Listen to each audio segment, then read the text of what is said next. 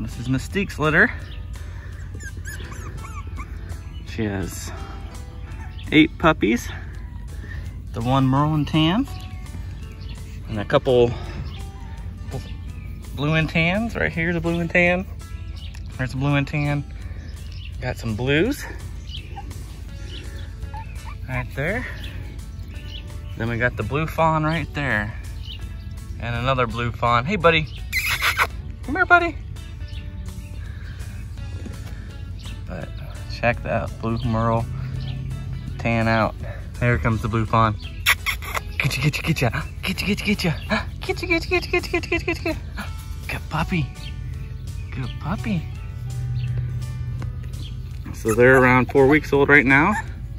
I've already actually begun to wean from the mom, starting in some solid food.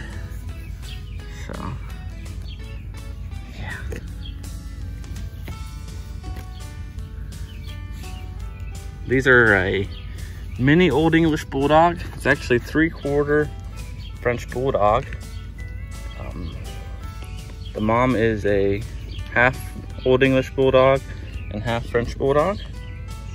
And then the dad um, of these is an actual purebred French Bulldog. Or the mom, yeah, yep. So these should be around, I'd say 35 pounds, somewhere in there, maybe 40. Maybe some of the bigger ones, like this little guy.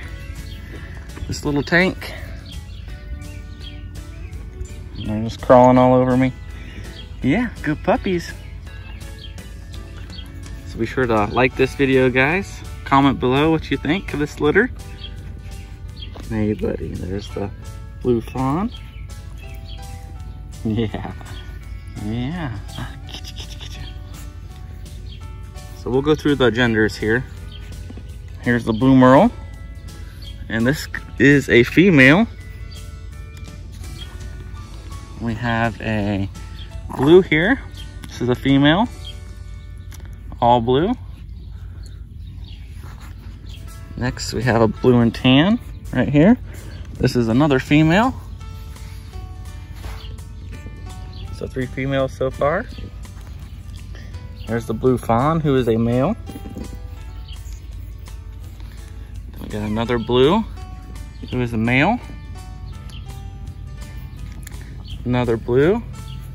This is a, female, I believe. Yep. Oh, that's a male. Then we have an ornery little blue and tan here. Who's a male. Probably one of the tinier ones we have. Along with this other blue fawn, blue. Let's see what you are, cutie. Come here. This is a female. Get you. Get you, get you. So the reason for doing the mini Old English Bulldogs here is there's a lot of people who love the Old English Bulldogs. Obviously people love the French Bulldogs, but we wanted to give a you know, a little bit smaller size Old English Bulldog along with the beautiful colors that they carry. And they just, just extra, I mean, during the puppy stage, they're gonna be definitely playful energy, but with the Old English Bulldog, I mean, they're, they definitely can fetch and do a bunch of things like that, but they tend to be more laid back. So definitely get a more laid back puppy dog. Um, a lot of the Old English Bulldogs, you have to, you know, barely can pick them up. With these here, you're gonna be able to pick them up, take them wherever you wanna go, still have that kind of old English Bulldog look. That's why we cross them with the French Bulldog.